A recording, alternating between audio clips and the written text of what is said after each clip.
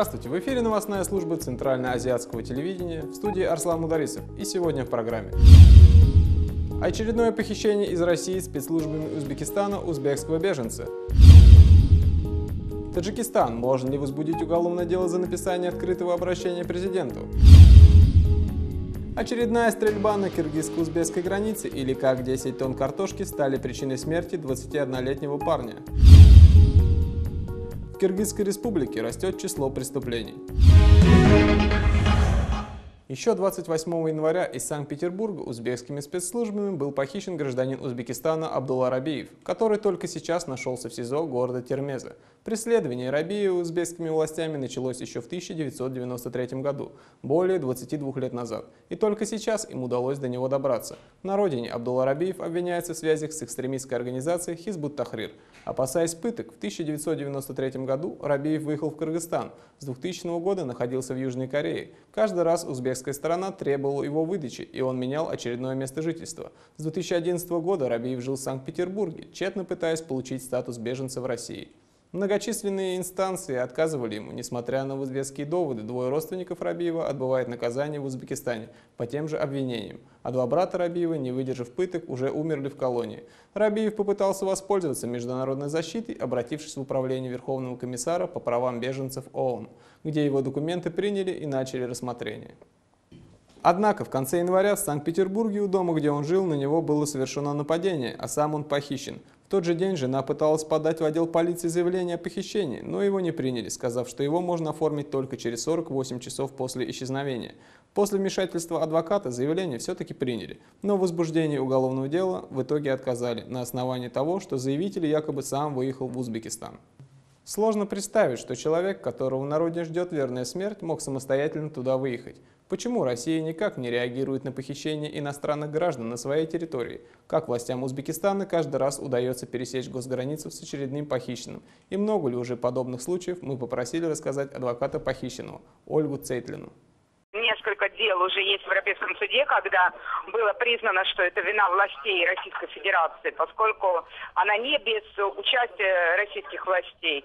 Безусловно, мой подзащитный Рабеев никаким образом не желал он опасался, остерегался вот этой выдачи, которая произошла, и теперь у нас есть сведения, что он находится в тюрьме в Узбекистане. Почему в Узбекистане так много обвиненных сторонников Хизбут Тахрира? Действительно ли они экстремисты или власти Узбекистана используют это клеймо как прикрытие для заточения инакомыслящих граждан? Мнение узбекского правозащитника Бахрома Хамраева. Под это прикрытие, конечно, узбекские власти успели э, достичь определенного успеха. Э, огромное количество э, осужденных людей э, по обвинению э, за экстремистической деятельности. И э, другая, а, это одна сторона, другая сторона. Узбекские власти очень прекрасно знают, что Россия, э, в России она вынесла список террористической экстремистической организации Хазбутахрир.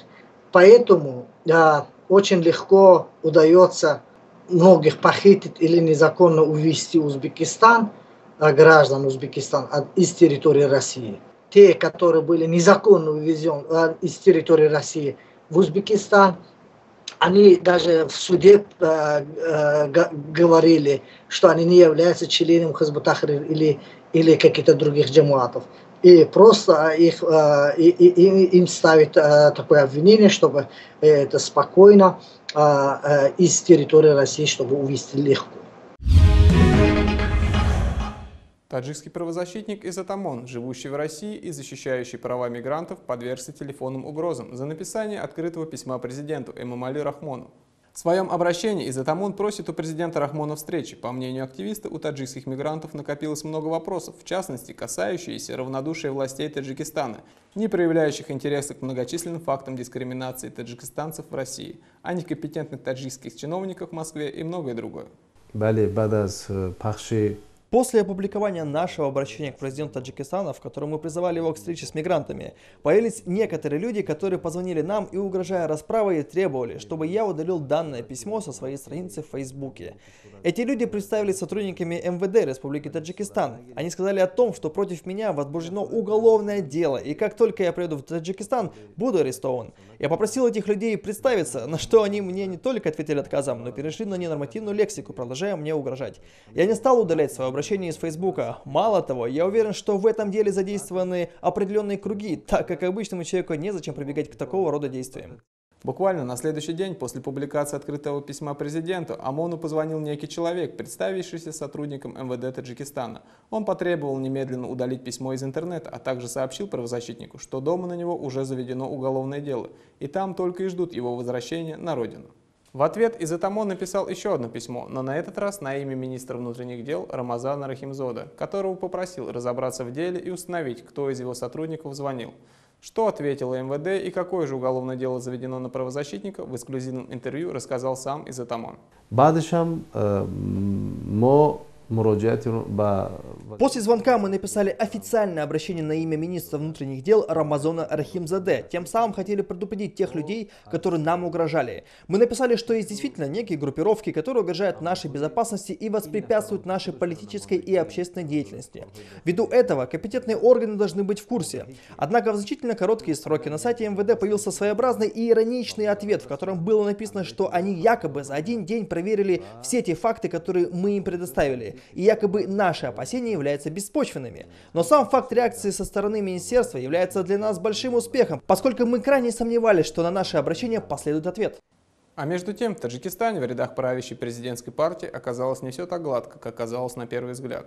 Спор из избы вынес лидер молодежного крыла Народно-демократической партии Исфандияр Абдурахманов – 5 мая молодой активист разместил на своей странице заявление, в котором сообщил, что покидает партию в знак протеста против процветающего там местничества и клановости. Три месяца я плодотворно и основательно работал в качестве главы Сазандагони Ватан. Однако из-за мясничества и раскольничества большинства сотрудников Центрального комитета НДПТ подал в отставку. Хотя многие мне говорили, что не уходи в отставку, поскольку тебя очернят.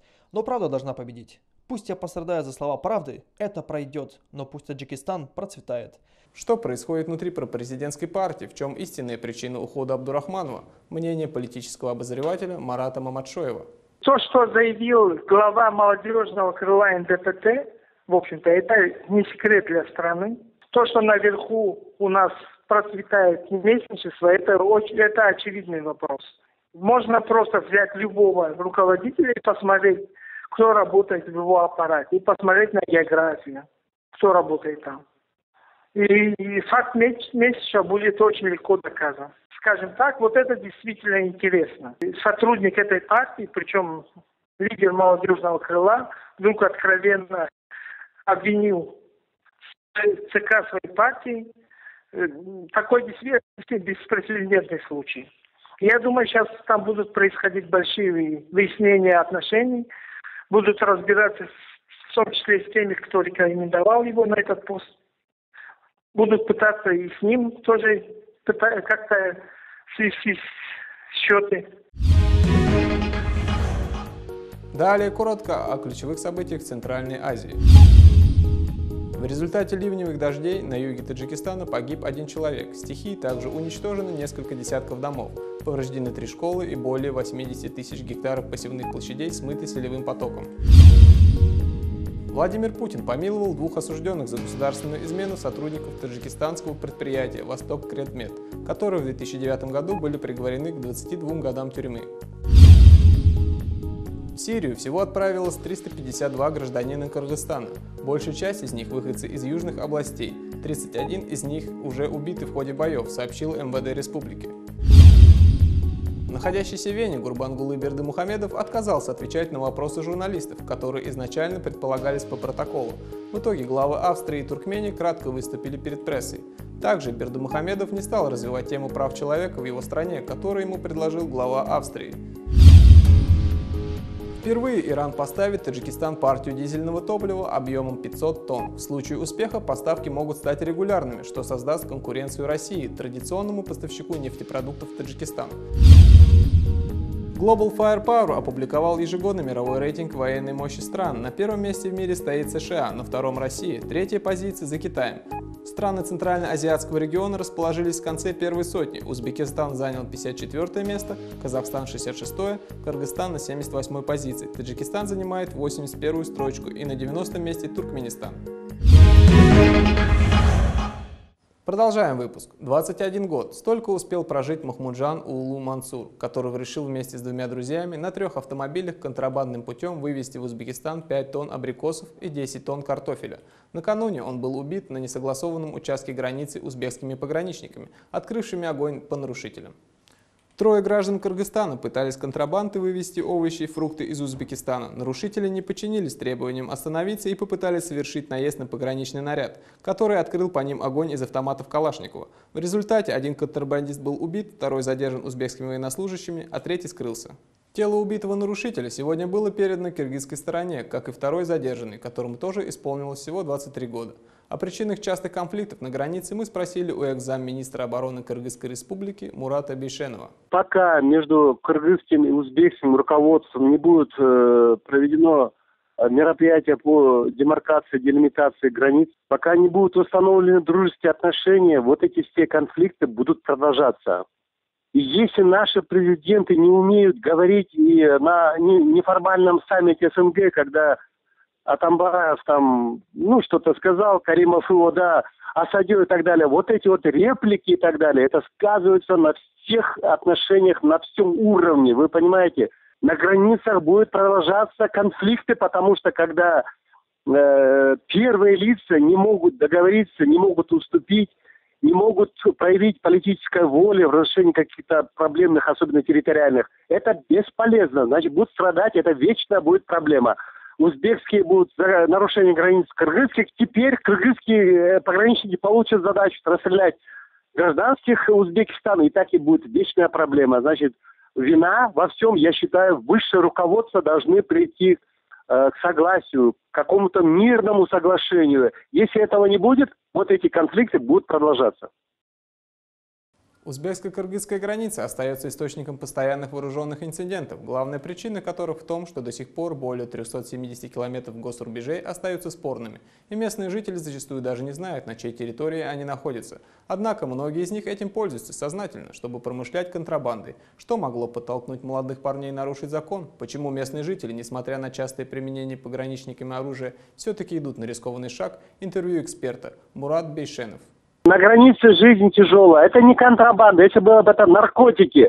Это какие-то овощи, какие-то сейчас не урожай в Кыргызстане. Значит, в Узбекистане что-то везут. В Узбекистан будут везти что-то. Вы понимаете, это жизнь. Жизнь не остановишь. Пока не будут урегулированы граничные пограничные, пока не будет э, договора о дружбе и взаимодействии между этими странами, соседями, это будет бесконечно, это будет еще сто лет продолжаться. Вы понимаете, о чем речь? Это жизнь не остановишь. Люди будут нарушать границы, когда не, нету демаркации, делимитизированных государств, пограничные э, этих столбов нету, это все будет продолжаться. Пастбища будут нарушать узбеки, мы будем нарушать какие-то ввоз каких-то продуктов, и все это будет продолжаться. Я считаю, что нужно проявить волю, э, смириться, э, гонор спрятать, что Каримову, что Атамбаеву. Надо договориться, сесть за стол переговоров, потому что так должно так продолжаться два, больше 20 лет и уже не может.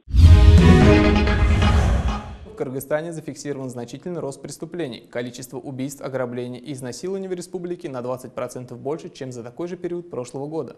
Национальный статистический комитет Кыргызии опубликовал информацию о более чем 7,5 тысячах преступлений, которые успели совершить преступники в этом году.